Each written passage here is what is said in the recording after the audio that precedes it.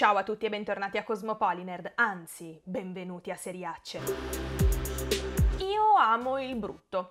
Sì, molto più del bello, soprattutto in campo seriale. D'altronde siamo tutti buoni a fare serie strabelle come Breaking Bad, Better Call Saul, Fleabag. Volete mettere invece quanta genialità con la gn ci vuole per sfornare la roba brutta, la roba trash? Lì sì che c'è ispirazione, originalità, arte, bellezza vera, perché nulla è più bello del brutto, ricordatelo. E visto che Baby, la serie italiana originale Netflix, in particolar modo con la sua terza e ultima stagione, disponibile finalmente sulla piattaforma streaming, ne sembra un esempio lampante e mi sono detta perché non iniziare proprio con lei questa mia nuova rubrica seriacce. Quindi preparatevi, questa sarà una recensione ricca di spoiler e di ironia e di sarcasmo, ma prima di tutto c'è una cosa che dovete fare, ovvero iscrivervi al canale YouTube di Cosmopoliner cliccando sul tastino iscriviti e attivando la campanella delle notifiche anche su cellulare, che è sempre una cosa importantissima. E se volete aiutarmi a diffondere il verbo di Cosmopoliner everywhere, allora followatemi su Instagram, mettete mi piace alla mia pagina Facebook e condividete questo video in ogni dove. Bene, ciancio alle bande e seriacce!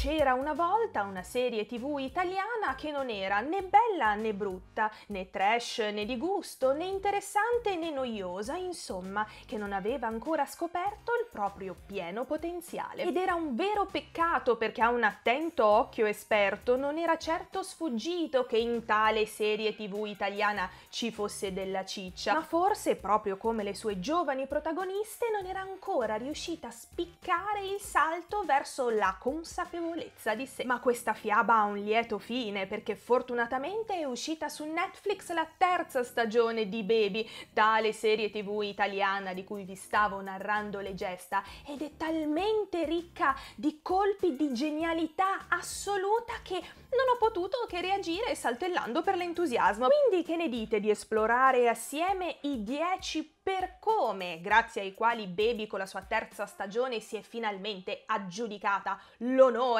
di diventare una seriaccia. Vorrei iniziare con uno forse dei meriti più grandi in assoluto che ha questo show, ovvero il ritratto per niente generalizzato degli adulti, che se non sono ambigui e o disonesti, però sono sicuramente dei deficienti patentati. Mi sono trovata appunto a domandarmi, ma possibile che ci riduciamo davvero tutti così quando finiamo le superiori perché vedete, grazie all'incredibile approfondimento psicologico di tutti i suoi personaggi, soprattutto di quelli da una certa età, in su spinge a porti delle domande, a vagliare le tue certezze non solo esistenziali. Per dire, una delle mie certezze è sempre stata che, ed ecco il secondo per come, le cose che accadono ai personaggi di un prodotto di intrattenimento devono avere un senso con quello che hanno vissuto tali personaggi fino a quel punto della narrazione e invece Baby, o meglio la terza stagione di Baby, ci dimostra che non è così, che una protagonista può tranquillamente scoprire che il grande desiderio della sua vita è andare a studiare fumetti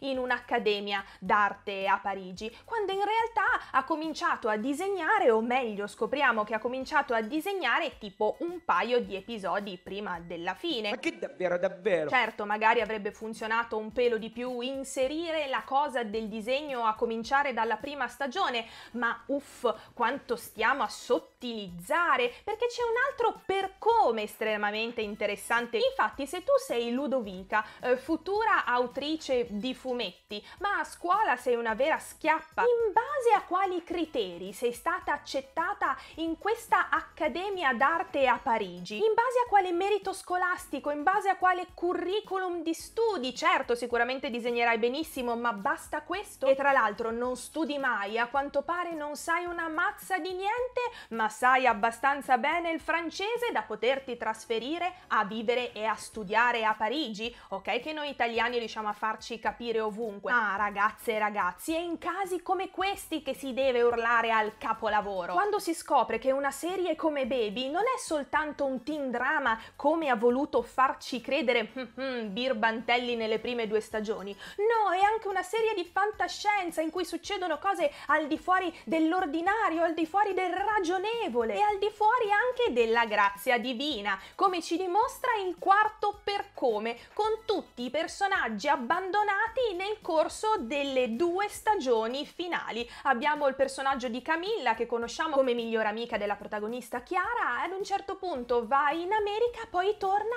ed è una persona completamente diversa e non sapremo mai perché. Non è una figata, Baby adora lasciarci la suspense, un po' come la trottola alla fine di Inception di Christopher Nolan, no? Non esattamente. E per come numero 5 vogliamo parlare di quegli incredibili momenti onirici, anche un po' metanarrativi, addirittura avanguardistici, lasciatemelo dire, che appaiono così a Katsum de Canem nella terza stagione di Baby, senza che ci siano mai stati momenti simili nelle prime due stagioni precedenti, perché in fondo, ammettiamolo, è praticamente inutile sbattersi per trovare una continuità stilistica, narrativa, con ciò che è accaduto e si è visto prima, quando puoi semplicemente raccontare quello che vuoi, come vuoi, tanto il progetto è tuo, quindi. E tale indipendenza, tale autonomia, secondo me trovano il loro compimento massimo nel per come numero 6, ovvero nella rappresentazione per niente superficiale del bisquillismo. Una marachella fatta tra amiche, oh aiuto se la polizia ci becca, chissà che cosa succede, facciamo un giretto in macchina con un orsacchiotto enorme di peluche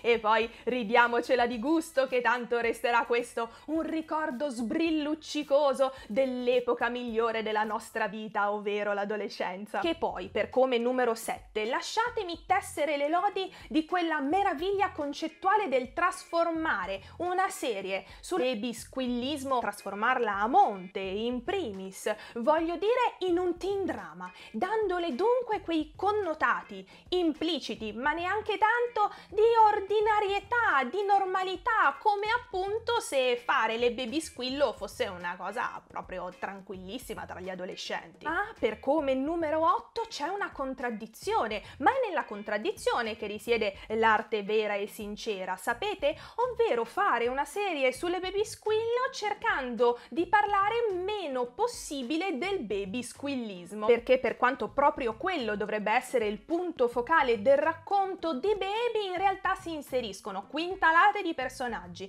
quintalate di storyline perché intanto è la quantità che conta, non la qualità, giusto per diluire un po' il tutto e per non rendere così il fattore baby squillismo. Perché ricordiamoci che Baby è sì una serie sulle baby squillo, ma che di squillo prima di tutto ha praticamente soltanto quello del cellulare ed è pudica e morigerata quasi quanto un episodio medio di Don Matteo. Don Matteo, lei ha visto qualcosa? No, io ero fuori. Ma dico io, o meglio direi io se fossi una pignoletta che non ama il trash e la roba brutta, non sarebbe stato meglio affrontare il fenomeno del baby squillismo in modo analitico, non dico documentaristico perché documentari veramente lo guardano solo le persone noiose, ma visto che il piglio appunto non è quello analitico, magari potremmo evitare di ammantare il tutto di questa estrema pretesa di realismo, no? Ma che per come numero 9 9 perché non ci mettiamo a raccontare una storia che può sembrare una storia vera, un po' realistica, un po' no, con questa estetica super patinata che ti crea proprio una barriera invisibile che non ti fa entrare nella vicenda. Tra l'altro un'estetica figa, e figa lo dico proprio senza ironia, che però è patinata fine a se stessa, che non aggiunge niente al racconto e che non è minimamente legata ad esso. Ecco, io non criticherei mai Baby in questo questo modo, ma probabilmente voi sì e ho capito perché la critichereste in questo modo, amici, perché siete fan di Scam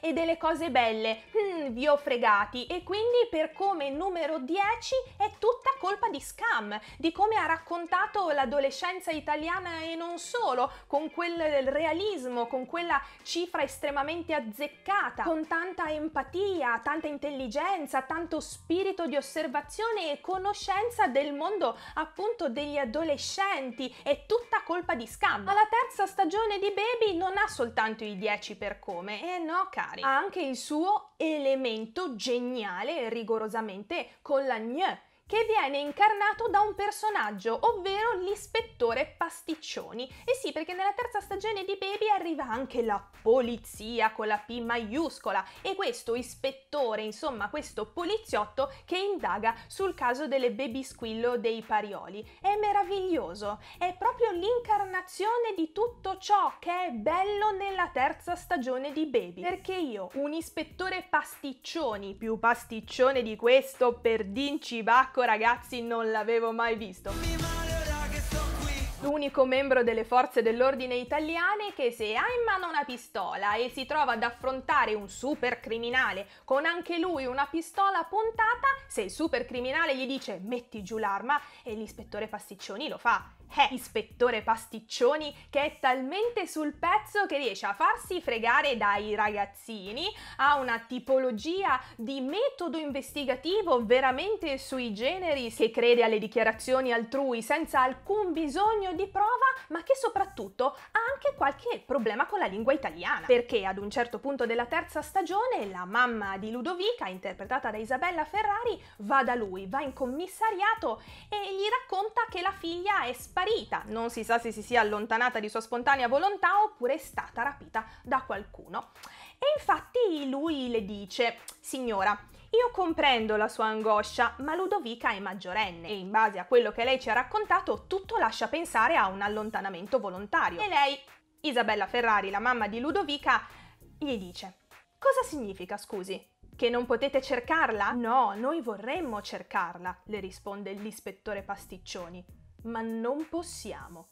Ora, lei ti ha appena chiesto se non potete cercarla e tu gli dici no, ma non possiamo. Insomma, capite che l'ispettore Pasticcioni, che ho chiamato io ispettore Pasticcioni, è il vero elemento geniale con la gne non solo della terza stagione di Baby, ma di tutto Baby messo assieme. Considerate che è una serie che ci ha regalato alcuni momenti davvero indimenticabili. Ma come sicuramente saprete, ogni seriaccia conserva in sé degli importantissimi insegnamenti. Ogni seriaccia è una lezione di vita, una sorta di corso accelerato di cosa non fare, cioè volevo dire di cosa fare assolutamente. E quindi domandiamoci che cosa abbiamo imparato da baby, che quando racconti qualcosa di specifico, inserisci un elemento in particolare all'interno della tua storia, non è assolutamente necessario documentarsi. Tipo, se inserisci un poliziotto all'interno della tua narrazione, perché devi capire come funzionano le dinamiche poliziesche? Perché devi capire come funziona e come si muove e come parla un poliziotto? Perché in fondo in fondo studiare, leggere, informarsi non serve a niente. Tu vuoi raccontare qualcosa? Anche se non è plausibile, anzi la magia aumenta. E poi abbiamo imparato che la coerenza di qualunque tipo non serve, anzi alla parola coerenza dovreste reagire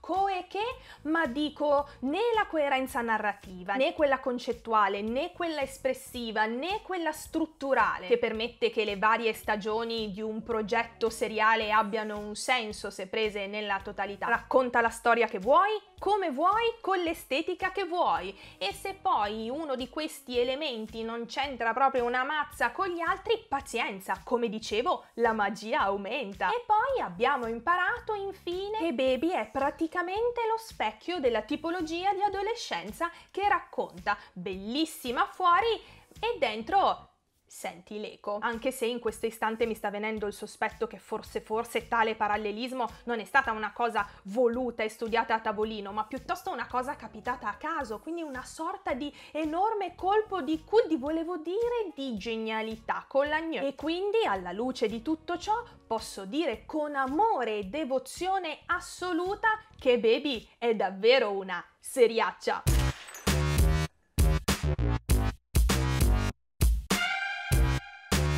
Se questo video vi è piaciuto, come è piaciuto a Pimpi, che anche lui è un grandissimo fan delle seriacce, e a Tresciorso, che potrebbe diventare un ospite delle future puntate della rubrica seriacce, allora dovete fare sempre le solite cose, ovvero mettere mi piace, lasciare un commento, iscrivervi al canale YouTube di Cosmopoliner, attivando anche la campanella delle notifiche su in alto, che è sempre una cosa importantissima, altrimenti ditemi qual è la vostra seriaccia preferita, scrivetelo nei commenti.